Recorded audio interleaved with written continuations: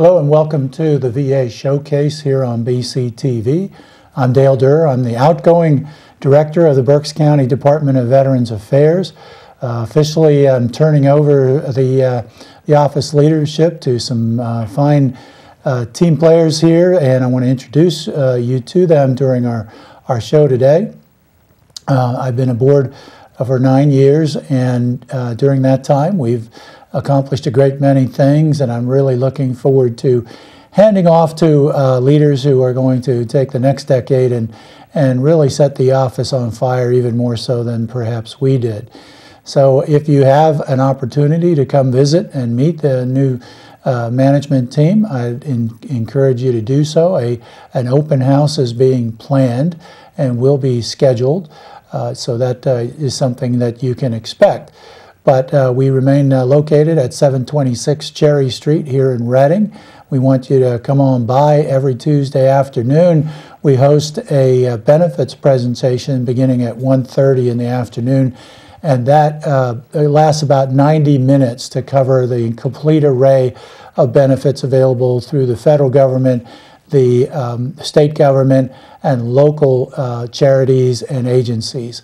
So we want you to come by. We want you to get to know us. We want to uh, help you into those benefits that uh, you that the veteran earned through his or her military service. So that's our purpose, and this show has been an educational show over the eight years that uh, we've been Uh, uh, having this, uh, the VA showcase. I'm very proud of the show, and we've got a lot of good information out to uh, folks in the community. It might not have otherwise had seen or understood or heard about the the information, and, and we want to continue to to do that. So I want to introduce to you today is my new colleagues, and I will re be retiring today at the end of the day. Uh, but my new colleagues are uh, Ken Lebron, uh, Ken uh, is the new uh, director of Berks County Department of Veterans Affairs, and Jason Nauman is the new deputy director at uh, Berks County Department of Veterans Affairs. Ken was promoted into the director role from the deputy position, and Jason has now been um, appointed by the Board of Commissioners to uh, take on that role. So, gentlemen, uh, this is uh, this is quite something. Uh, we've been spending part of our day uh, today just talking about all the different facets of veterans law and state and local benefits and services, so that um, that you have that perspective on on what's out there. Uh, let me let me start with. I think the audience will be interested in your military service. Uh, Ken, why don't we start start with you? You're a you're a Marine Corps veteran. That's correct. I started with the Marine Corps Reserves right after I graduated from high school in 2004. I'm a Reading High School graduate. And I spent about four years, well, actually all four years while in high school in the Marine Corps Junior Reserve Officer Training Corps, which really sparked my interest uh, for the uh, Marine Corps service. And so I wanted to pursue uh, college uh, education and post secondary education. So I decided to pursue uh, the reserves uh, with the Marine Corps. Um, I enlisted initially as a food service specialist with the Marine Corps Reserves.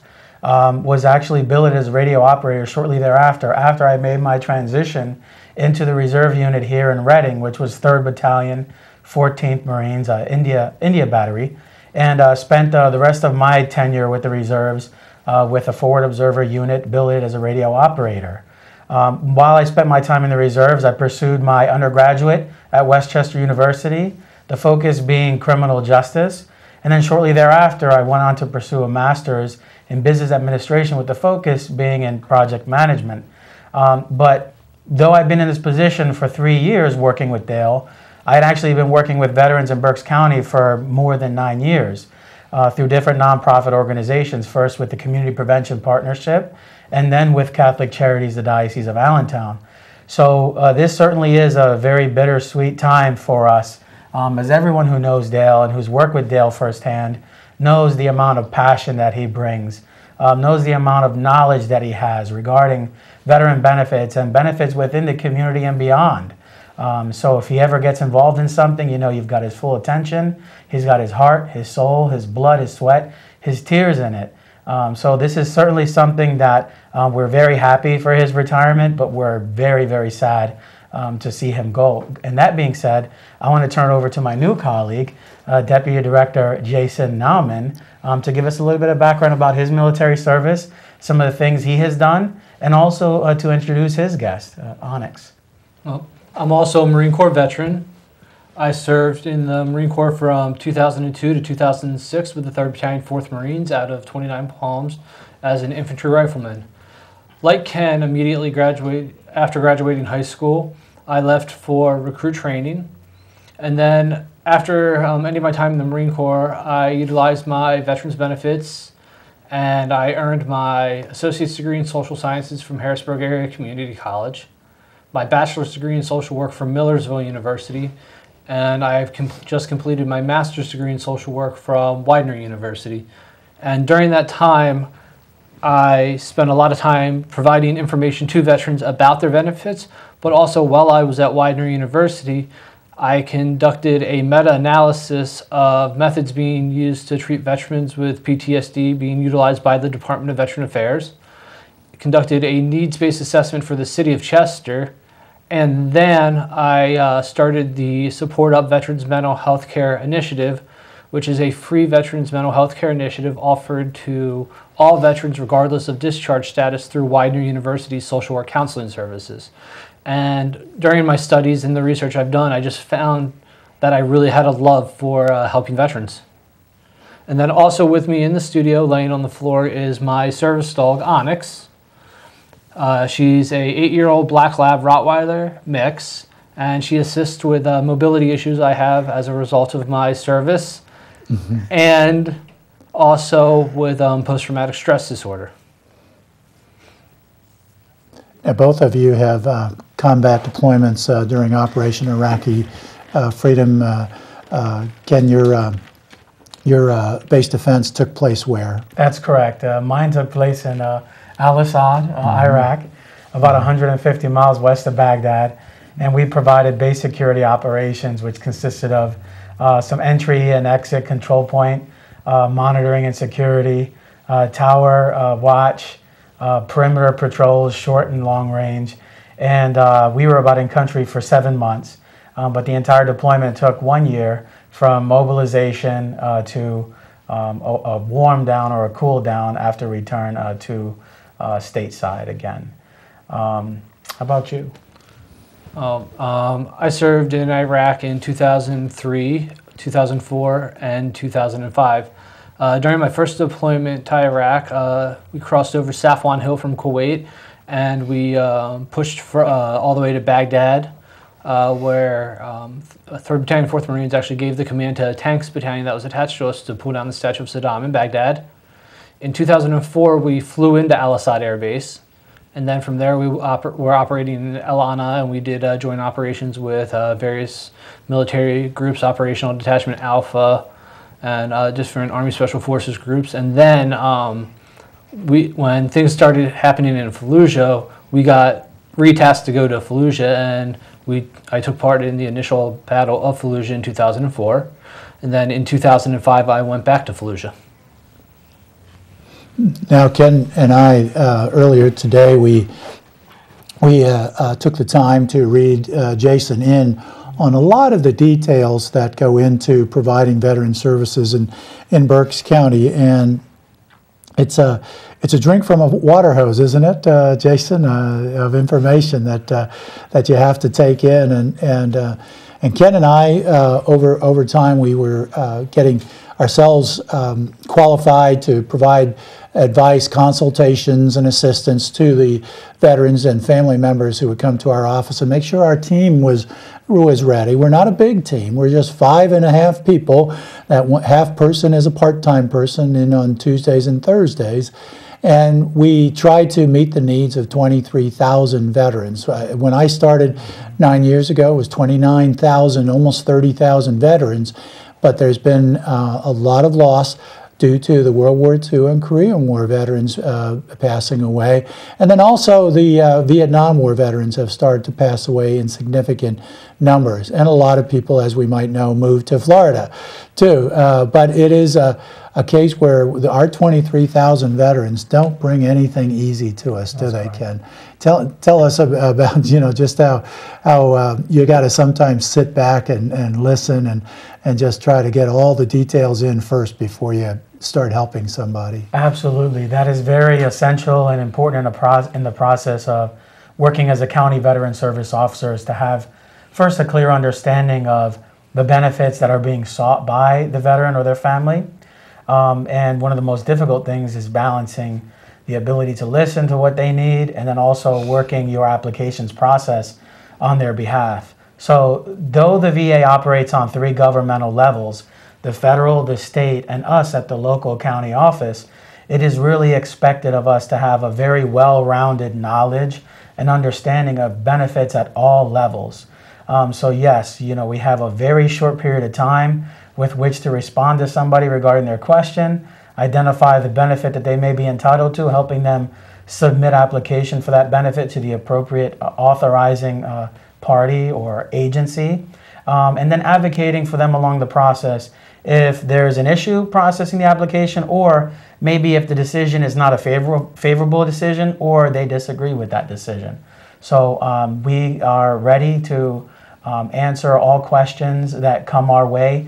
If it's a question we don't have an answer to, it's our responsibility to identify the appropriate party who would have the answer for them.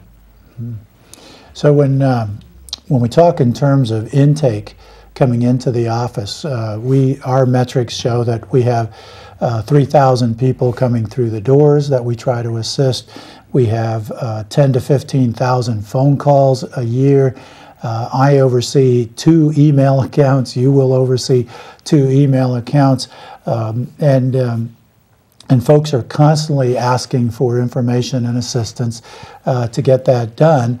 Um, we really don't have uh, people who are there just to take those those co- contacts uh, and and uh, and then get them to pl- people. We are all the same people who are helping everyone uh, else, and and so we just aren't very uh, available when we're sitting and helping or we're working on a complicated claim. And but everybody's expecting us to respond back almost immediately, and that can be bothersome to to those folks who don't understand the working conditions that, that we're in. Not to make excuses, is it? But uh, but we just have an overwhelming amount of intake that we have to deal with in a day and get claims out the door, right? Absolutely. It makes it uh, very important that the team work together because we have referrals coming in from all angles um, phone calls, walk ins, emails. Uh, we've recently established some social media um, avenues uh, in which we, we receive inquiries from, um, mailings, letters, faxes. So it is important for us to do the best that we can to respond to all those inquiries in a timely fashion. Or else, as Dale mentioned, you know, sometimes a veteran can get quite upset with us and not really understand why it's taking us a little bit longer to respond to them than they would like. Yeah, and we focused on certain target groups as well, which take us away from the office, especially you and me. Absolutely. And, uh, and it may so, do so for Jason as well, and uh, to the Vietnam War veterans, the homeless veterans, the incarcerated veterans, the veterans in the Berks County Court of Common Pleas Drug and Alcohol uh, Treatment Court. Uh, these, these people all need attention because they may be more vulnerable than some, but uh, we want to uh, work uh, consistent with where VA puts their priorities as well, and make sure we're in the community supporting the, uh, these folks. But every time we leave the office, we're we're not available to the person who walks in. We're not available to the person who calls. Uh, but we'll get back to you when as as soon as we possibly uh, can.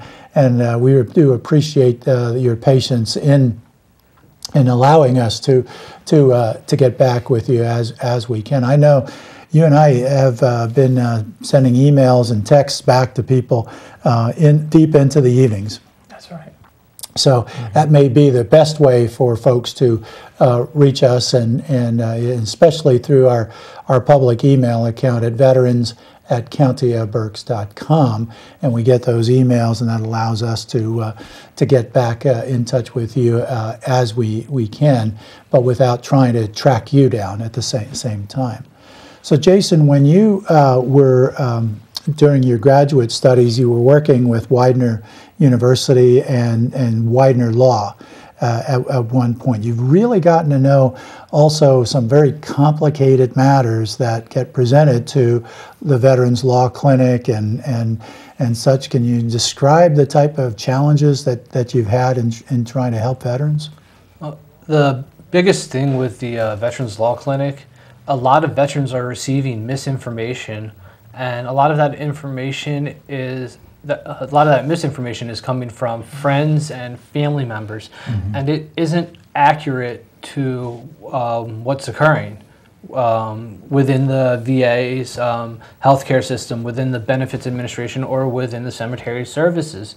So then, um, working with veterans to help them better understand um, how the process, the claims process works, uh, and to see what benefits they're actually, uh, what they actually qualify for, and uh, a lot of cases with a veteran that's struggling to get on their feet, um, it goes beyond um, benefits. Uh, it's maybe possibly looking at like a HUD vouch- voucher for homelessness, or looking into other programs that can better help the veteran become established as their uh, claim is being processed, and uh, while they're uh, waiting to seek out uh, medical treatment.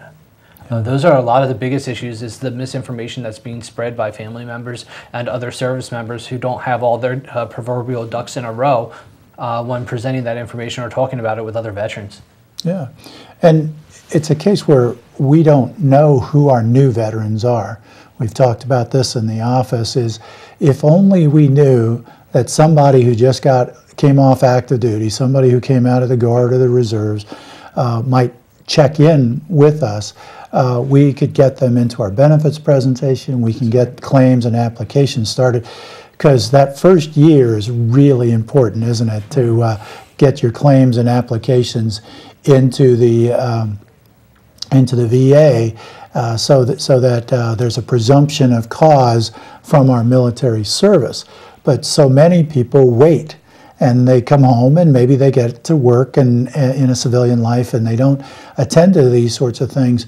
But we're kind of frittering away uh, prioritization of services for us if we don't do certain things in that first year. Life insurance is a good example. Getting getting claims for disability uh, compensation and maybe even education uh, benefits. We were just talking this morning about uh, the Forever GI Bill and delegating uh, your benefits to family members, and there are a lot of people coming out of the military still who don't get all the good information they can to ensure that there is uh, education benefits provided to spouses and children.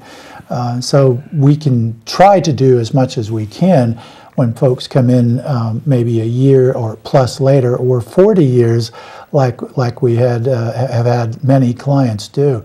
Uh, Kenny, and uh, uh, over the years we've uh, uh, we've had a crosstalk uh, every month to try and get the community involvement into solutions and uh, for some of the trends that we have seen with our with our veterans and and family members. Uh, uh, you're going to continue that crosstalk and and uh, keep bringing folks aboard.